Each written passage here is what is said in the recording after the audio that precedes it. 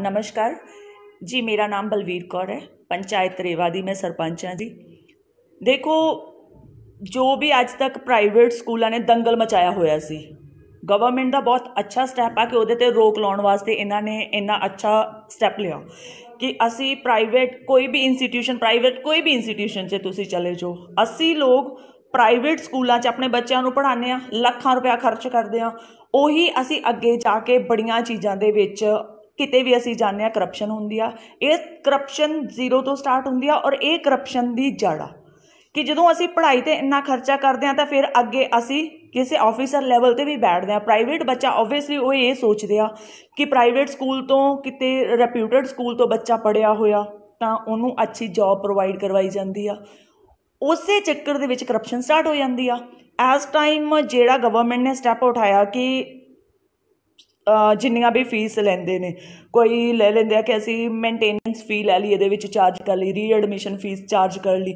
ਉਹਨਾਂ ਦੇ 50 ਦਾ fees examination fees ਹੁੰਦੀ ਆ। ਪਾਰਟਿਕੂਲਰ ਪ੍ਰਾਈਵੇਟ ਸਕੂਲ ਦੇ ਵਿੱਚ ਇੱਕ ਫੀਸ ਹੋਣੀ ਚਾਹੀਦੀ ਹੈ ਜਿਹੜੀ ਮੰਥਲੀ ਅਸੀਂ ਦਿੰਨੇ ਆ 400 300 500 1000 ਰਾਈਟ ਪਰ ਬਿਲੋ 1000 ਹੋਣੀ ਚਾਹੀਦੀ ਆ ਅਪ ਟੂ ਨਹੀਂ ਹੋਣੀ ਚਾਹੀਦੀ। ਕਿਉਂਕਿ ਜੇਕਰ ਤੁਸੀਂ ਇਹ ਚੀਜ਼ ਦੇਖਦੇ ਹੋ ਕਿ ਜੇ ਅੱਜ ਇਹ ਇੰਨਾ ਕਰਦੇ ਆ, ਤਾਂ ਕੱਲ ਨੂੰ ਅਸੀਂ ਲੋਕ ਫੇਸ ਕਰਦੇ ਆ।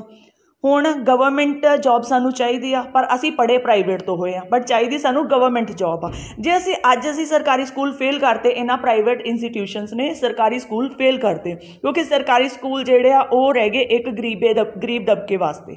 ਤੇ ਜਿਹੜੇ ਪ੍ਰਾਈਵੇਟ ਇਹਨਾਂ ਨੇ ਬਿਜ਼ਨਸ ਬਣਾ ਲਏ ਪ੍ਰਾਈਵੇਟ ਸਕੂਲ ਵਾਲਿਆਂ ਨੇ, ਉਹ ਰਹਿ ਗਏ ਇੱਕ ਅਮੀਰ ਬੰਦੇ ਵਾਸਤੇ। ਕਿਉਂਕਿ ਗਰੀਬ ਦਬਕੇ ਦਾ ਬੰਦਾ ਕੋਈ ਵੀ 1000 ਪਰ ਮੰਥ ਫੀ ਪੇ ਨਹੀਂ ਕਰ ਸਕਦਾ। ਕਿਉਂਕਿ ਜਿਹੜਾ ਦਿਹਾੜੀਦਾਰ ਹੋਊਗਾ, ਉਹ ਤਾਂ ਸਰਕਾਰੀ ਸਕੂਲ 'ਚ ਭੇਜੂਗਾ, ਜਿੱਥੇ 10 20 50 100 ਰੁਪਿਆ ਫੀਸ ਆ। ਉਹ ਉੱਥੇ ਭੇਜੂਗਾ।